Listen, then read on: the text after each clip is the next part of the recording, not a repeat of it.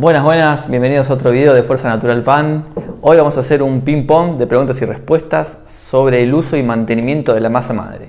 Hemos recibido muchas preguntas en nuestro canal, gracias por hacernos llegar las dudas y comentarios y sugerencias. Así que bueno, vamos a reunir esa cantidad de preguntas y vamos a tratar de responderlas de forma clara, sencilla en este video. Espero que les sirva y que les interese. Vamos ahí.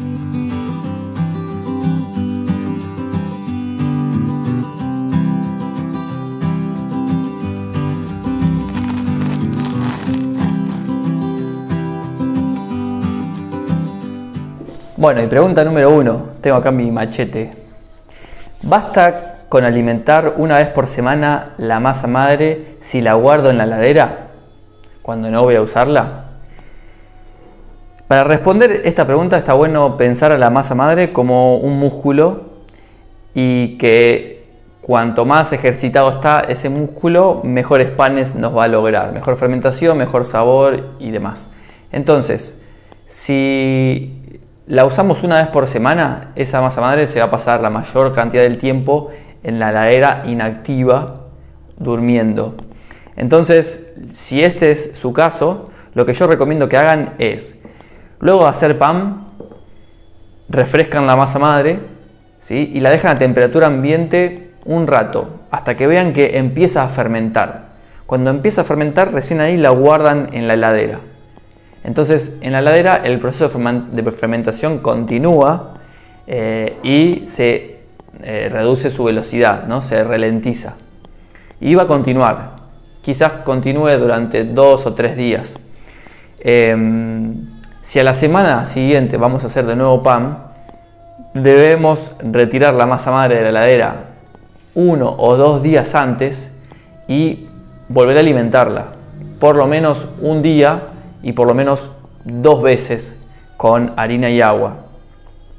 Si lo que guardamos en la heladera es mucha cantidad, cosa que no recomiendo, pero si es mucho, conviene descartar por lo menos la mitad de eso antes de refrescarla esa, esas dos veces y volver a hacer el pan. ¿Por qué? Porque en el frío, en la heladera, la masa madre se acidifica y esa acidez va a parar luego al pan. Bueno, segunda pregunta y relacionada. Cuando saco la masa madre de la nevera, ¿debo alimentarla enseguida? Y esto es depende. ¿sí? Si estás muy apurado o apurada para hacer el pan, y sí, cuanto antes la alimentes, antes va a fermentar, antes va a revivir y la vamos a poder usar. Lo que yo sugiero es sacarla de la heladera y sí, inmediatamente, no inmediatamente, pero a la brevedad, hacerle un refresco de harina y agua.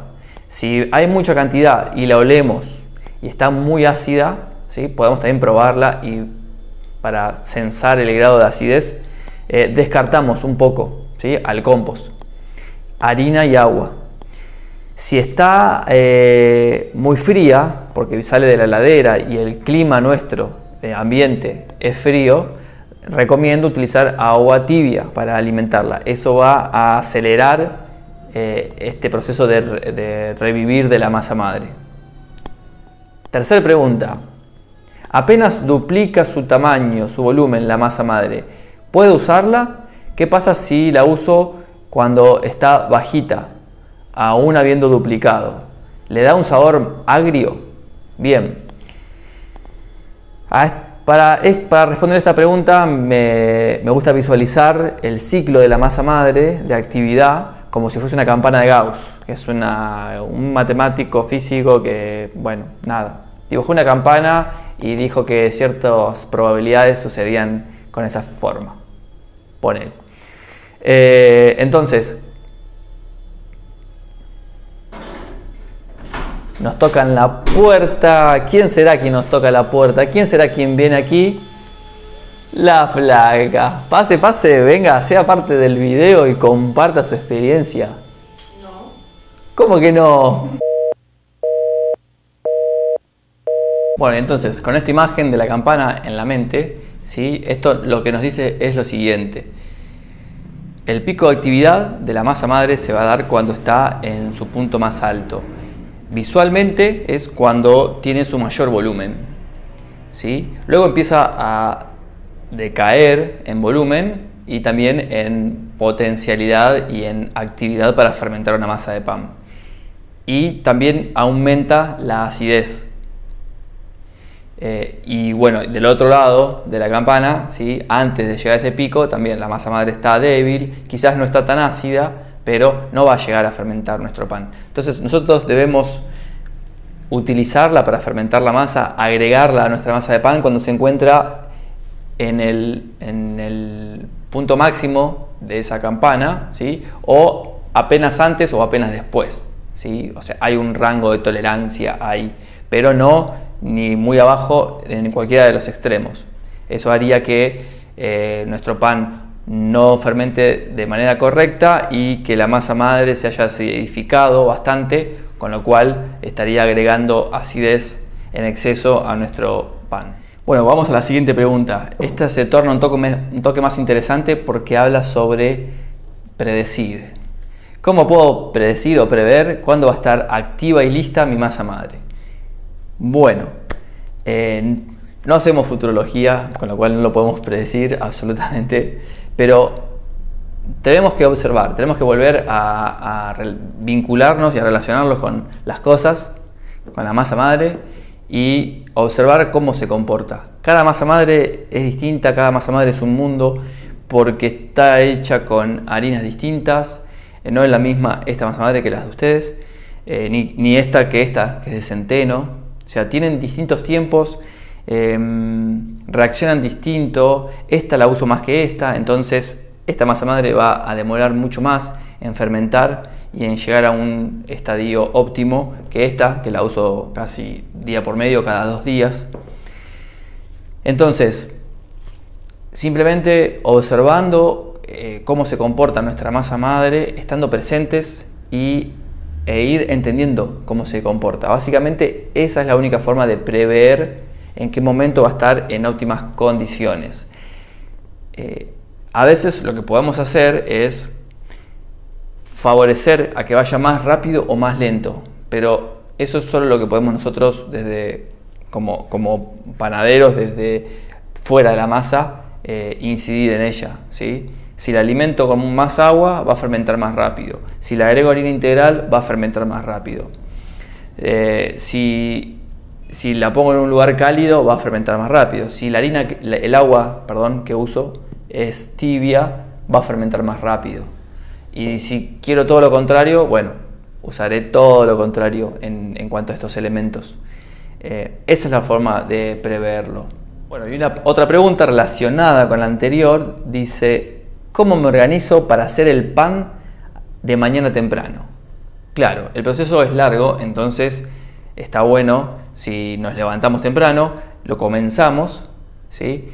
Nos vamos o hacemos nuestra actividad diaria y luego al regresar a la tarde o a la noche lo podemos terminar, finalizar, entonces o mismo hornear. Entonces tendríamos eh, pan pronto al día siguiente o, a la noche. Esto es, está buena la pregunta, eh, requiere probar y requiere eh, entrenamiento. Yo para levantarme, ¿sí? despertarme, 7 de la mañana, 6 y media de la mañana y empezar a hacer el pan, tengo que haber alimentado la masa madre a la noche y levantarme y que la masa madre esté en su punto óptimo para usar. Puede estar pasadita apenas, ¿no? pero no, tiene que estar bien. Entonces, si yo me voy a dormir a las 8 de la noche, muy temprano, pero de 8 a 7 hay muchas horas. Entonces, ahí tengo que empezar a jugar con la temperatura ambiente o cómo la alimento si la, en vez de hacerla muy líquida, la, alimento con poca agua. Entonces eso es una masa madre más sólida que va a demorar más en fermentar. No uso harina integral, entonces va a demorar más en fermentar. Puedo ponerla en un lugar fresco de la, casa, eh, entonces también demora más en fermentar. Em, ahora, si yo me acuesto tarde y tengo 6 horas nada más, duermo 6 horas, entonces necesito que en 6 horas la masa madre esté activa. Tengo que ver cómo hago. ¿sí? Si la dejo con agua tibia en un recipiente, tipo baño María, pero sin fuego, ¿no? Con, agua tibia nomás, para alentar esa primera fermentación. Eh, luego el agua se enfría y luego la masa ya arranca a fermentar y el agua esa ya no, le, no le impacta. Bueno, hay que encontrar ese timing, esa forma. Em, luego, bueno, hacemos el proceso de la panificación ¿sí? durante la mañana, guardamos la masa en la heladera y nos vamos a, hacer nuestras actividades cotidianas. Retornamos a la tarde y, o a la noche y podemos eh, quitar la masa de la heladera, terminar de hacer lo que tengamos que hacer si la dejamos ya pronta, hornearla y si no, hacer el formado final, volver a meter en la heladera para hornearla recién al día siguiente. Seguimos con preguntas sobre la organización, ¿no? Y acá una consulta dice, ¿puedo empezar mi masa madre, perdón, puedo empezar mi masa de pan de noche, dejarla fermentar durante toda la noche y continuarla a la mañana? Sí podemos y depende. Si la arrancamos a la noche y estamos en una época donde hace mucho calor, la podemos dejar que repose durante toda la noche, pero tiene que ser en la nevera. Si estamos en invierno y hace frío, podríamos dejar la temperatura ambiente, que si hacen 14, 15 grados o menos, no va a, a alentar la fermentación de la masa. Entonces, eso por un lado. Si, por otro lado, si la voy a continuar a la mañana, yo la saco de la heladera, debemos dejarla reposar un tiempo, porque en la heladera la masa se endurece, además de que se enfría. Entonces, para manipularla tenemos que dejarla descansar a temperatura ambiente bastante tiempo, una hora, quizás dos, hasta que la masa se entibia y nos permite, por ejemplo, seguir plegándola o eh, hacer el formado final. Entonces, todo este tiempo eh, la masa continúa fermentando o retoma esa fermentación. Entonces eh, tenemos que tener cuidado ahí de que no, se nos pase de fermentación. Entonces, mi consejo es, si voy a empezar una masa a la noche para continuarla a la mañana, lo que tengo que hacer es guardarla en la ladera a la noche cuando todavía no haya empezado a fermentar. Mezclo harina y agua, hago la, hago la autólisis con la masa madre y hago un pliegue y la guardo en la heladera. Y me olvido hasta el día siguiente que la saco, espero que se entibie nuevamente y vuelvo a continuar con los pliegues. Siempre prestando atención a la temperatura y si veo que la masa empieza a fermentar demasiado, heladera.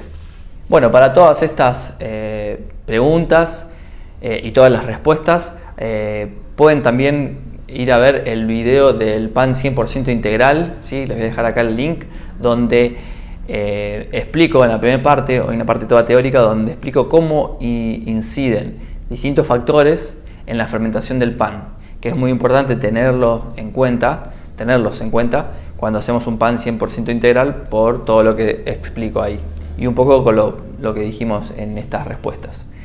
Para cerrar, lo que podemos pensar es que las masas madres son eh, músculos que eh, hay que entrenarlos. Cuanto más lo entrenamos, más nos va a, más y mejor va a fermentar nuestro pan. Entonces, eh, ¿cómo lo entreno? Alimentándola. ¿Solo alimentándola? No. Alimentándola, usándola y volviéndola a alimentar. Porque si yo agrego siempre harina y agua a la misma masa, eh, quedan residuos de esa fermentación y la masa se empieza a acidificar. Entonces hay que usarla, o sea, hay que sacarle parte de la masa. Cuando no estamos haciendo pan, eh, debemos retirarla, debemos descartar un poco. Por eso es el descarte. Hay que sacar un poco para renovar el, eh, el cultivo. Em, vamos a hacer en otro momento un video donde vemos qué podemos hacer con eso que descartamos de la masa madre y en vez de tirarlo, en vez de compostarlo, se pueden hacer algunas preparaciones. Y, bueno, entonces si yo, eh, si yo entreno mucho, ¿sí? porque voy a correr una carrera, entonces debo entrenar y seguramente llegue a la meta y llegue en buenas condiciones entonces debo entrenar. Si yo quiero fermentar un pan y que quede bueno, buena amiga y buen sabor, necesito que la masa madre esté activa. ¿Cómo logro eso? Alimentándola, refrescándola, sacando parte de esa masa madre antigua. Em, eso es todo. Así que bueno, espero que les haya interesado, les haya servido algunas de estas respuestas. Me pueden escribir en los comentarios qué les pareció, si hay algunas dudas o si algo no quedó claro, podemos resolverlo juntos. Les mando un abrazo y hasta el próximo video de Fuerza Natural PAM.